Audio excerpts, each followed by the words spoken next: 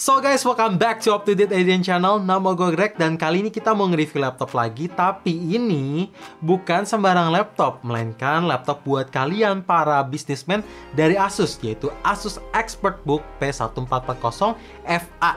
Jadi seberapa aman sih laptop ini dan seberapa reliable? Apakah laptop khusus bisnismen ini punya performa yang wow? So make sure kalian nonton sampai habis dan langsung aja tanpa basa-basi lagi. Let's check it out. Layar di laptop ini punya ukuran 14 inch dengan resolusinya HD aja atau 1366 x 768 yang masih oke okay lah. Walaupun kalau diperhatiin banget warnanya itu kurang vibrant dan true to life dan layarnya kurang tajam secara tipe layarnya itu menggunakan TN panel dengan ada lapisan anti glare yang sebenarnya masih oke okay kalau mau digunain everyday use. Bahkan dengan kombinasi TN panel plus anti glare itu bikin kerja kalian bisa nyaman kalau kerja di outdoor. Terus di pinggir kiri kanan kalian ada orang dan kalian sendiri lagi kerja project yang classified akan berasa nyaman karena kiri kanan kalian nggak bisa ngelihat apa yang kalian kerjain. Itu bagus. Terus ada satu yang gue suka, walaupun ini laptop bisnis, tapi layarnya bisa ditekuk sampai 180 derajat dan bahkan hinge-nya juga kuat dan solid. Body di laptop ini terlihat agak berat ya. Itu yang pertama kali muncul di benak gue pas ngeliat laptop ini. Secara laptop ini menurut gue rada tebel, tapi ternyata gue salah. Berat laptop ini cuma 1,6 kg yang asli enteng banget. Jadi misalkan kalian suka ketemu klien sana sini ataupun musim meeting sana sini, gak akan bikin pundak dan tangan kalian cepat pegel karena asli ini enteng banget.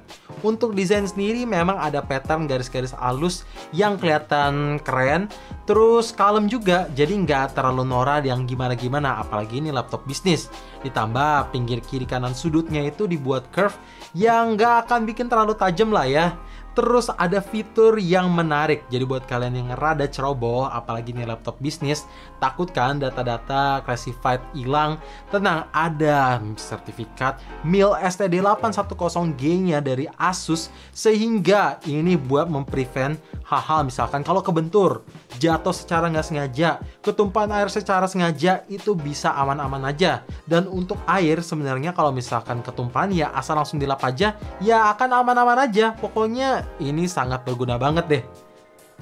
Untuk prosesor di laptop ini menggunakan Intel i5 8265U yang artinya udah pakai Intel 8 generation dengan grafik onboard Intel UHD 620. Terus internal memorinya sendiri udah pakai SSD NVMe sebesar 256GB yang bisa ada opsi kalian upgrade lagi. Jadi laptop ini tersedia HDD KD yang bisa kalian pilih mau pakai DVD-ROM ataupun upgrade HDD sampai 1TB. Yes, artinya ada SSD plus HDD combo. Dan RAM-nya sendiri RAM 4GB nya bisa di-upgrade juga sampai 20GB. Untuk upgrade RAM-nya juga gampang banget, asli. Oh iya, ada pertanyaan yang mungkin kalian pengen tanyain ya, mungkin.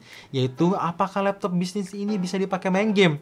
Well, langsung gue ngetesin pakai game CSGO, game mainstream ini di settingan low medium dapat minimal FPS itu 40 dan maksimalnya 75 yang menurutku masih cukup playable lah. Jadi misalkan kalau kalian udah jenuh kerja, ya kalian bisa pakai main game dikit-dikit karena hidup itu harus balance, yaitu work hard dan play hard juga.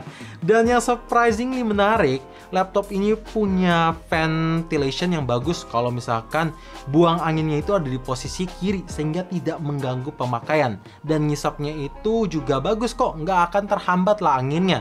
Kalau juga misalkan kalian tanya apakah laptop ini bisa dipakai untuk desain, jawabannya bisa. Gue ngetesin ngedesain pakai Adobe Photoshop untuk desain thumbnail, itu bisa banget tapi minusnya warna yang dihasilkan nggak akurat aja. Jadi kalau ditanya bisa dipakai desain, ya bisa, cuma warnanya kurang akurat aja. Selebihnya kalau mau kerja Microsoft Word atau Excel, itu bahkan bisa lebih banget, lebih dari cukup. Keyboard di laptop ini memang belum pakai full size, ya secara ini laptop ukuran 14 inch. Tapi untuk feels ngetiknya sendiri menurut gue masih cukup oke. Okay. Walaupun memang nggak tactile, tapi asli keyboardnya itu empuk, plus key travelnya juga masih oke, okay, sehingga gue cepet beradaptasinya. Jadi buat kalian yang sering-sering ngetik, ya akan cepet beradaptasinya juga lah ya. Terus tombol powernya gue suka juga karena dipisah nggak nyatu di keyboard. Dan kalau misalkan gue lupa bawa mouse, pakai touchpadnya sendiri memang ini nggak besar-besar amat amat. Tapi yang gue suka enak aja, licin gak keset. Laptop ini punya tingkat keamanan yang bagus. Ya pastilah secara kan ini laptop bisnis. Jadinya kalau mau unlock laptop ini, ada sensor sidik jari yang cepat dan akurat banget. Jadinya kalian nggak usah typing-typing password lama lagi. Tinggal tempelin jari kalian yang udah didaftarin, langsung masuk gitu aja. Terus ada satu yang gue suka namanya chip TPM 2.0 atau singkatan dari Trusted Platform Modules yang gunanya misalkan kalian sering banget login dengan credential info, data kalian tuh akan di-encrypt sehingga kalau ada hacker yang mau coba terobos ataupun ngehack laptop kalian, bakalan susah banget ngehacknya sampai-sampai hackernya udah nyerah kali. Port I.O. di laptop ini surprisingly juga udah cukup komplit. Di bagian kirinya ada charging port, VGA port, HDMI, LAN, terus ada 3 USB 3.1 generation 1, di bagian kanannya ada satu USB 2.0, satu jack 3.5 dan satu HDD-KD yang tadi gue bilang bisa untuk opsi ganti jadi DVD-ROM ataupun nambahin hard disk sampai 1 TB. Terakhir di bagian depannya itu ada slot micro SD dan LED indicator. Artinya kalau misalkan kalian mesti pindahin foto atau data menggunakan micro SD, ya tinggal langsung colok aja tanpa harus ada extension lain-lain. So guys, itu dia kelebihan-kelebihan yang ada di laptop bisnis dari Asus ini. Dan sekarang apa aja sih kekurangannya? Kan tidak ada laptop yang sempurna. Langsung aja kekurangan pertama. Desain layar di laptop ini menurut gue rasanya rada gimana ya, kurang kekinian aja. Karena bezelnya tuh masih tebel dan berasa banget. Gue sadar ini laptop bisnis, tapi at least semoga di nextnya Asus bisa ngecilin bezelnya sehingga lebih tipis. Karena bikin laptop ini jadi lebih modern dan kekinian aja. Yang ini sebenarnya minor tapi kegunaannya sangat major menurut gua, yaitu LED backlight keyboard. Apalagi kan laptop ini ditujukan buat kalian para bisnismen otomatis sering ngetik-ngetik juga. Dan pastinya bisnismen itu biasanya suka kerja nggak tahu waktu. Tiba-tiba udah subuh aja. Yang artinya juga otomatis bisnismen harus siap kerja kapan pun ataupun kerja di kondisi malam subuh hari. Dan biasanya kalau udah kayak gitu kan males nyalain lampu ya. Terus mesti ngetik. Jadinya backlight itu sangat berguna di situ. Dan sebenarnya buat kalian yang emang sering ngetik sih otomatis akan terbiasa jarinya. Tapi at least dengan adanya fitur LED backlight minimal bisa ngebantu buat kalian yang emang sering typo. Kalau ngomongin soal speaker sebenarnya gue nggak expect apa-apa ya secara seperti yang gue bilang berkali-kali karena ini adalah laptop dikhususkan untuk kalian para bisnismen. Jadi ya suaranya ya standar lah, bassnya kurang berasa dan suaranya kurang kencang aja menurut gue. Kalau dipakai nonton dikit-dikit masih oke okay. dan kalau dipakai main game ya itu kurang immerse saja. Jadi kadang kalau gue mau nonton ataupun main game tadi CSGO itu mau lebih immerse ya tinggal colok aja headphone atau earphone pakai jack 3.5-nya.